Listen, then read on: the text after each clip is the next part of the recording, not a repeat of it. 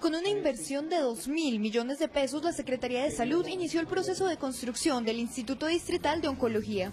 Aquí aspiramos a construir el Instituto Oncológico, va a tener 32 mil metros de construcción, 240 camas, atenderá a 3 millones de personas eh, en zona de influencia, especialmente los sectores del sur, el occidente, eh, los más vulnerables de, Bogotá. En esta ocasión aspiramos que esto se haga en un récord de de menos de tres años. Con la creación de este instituto se fortalecerá la prestación oportuna de los servicios de salud a todas las personas con cáncer de la ciudad, en especial a los niños. Colombia hoy tiene una incidencia muy alta y lo más grave de eso es que no están recibiendo la atención oportuna. Entonces aquí vamos a tener muy especialmente los niños, a las mujeres jóvenes que están sufriendo, por ejemplo, de cáncer de mama. La capacidad del nuevo centro de oncología será de 240 camas y se brindarán los servicios de consulta externa, hospitalización, cirugía y diagnóstico. Michael.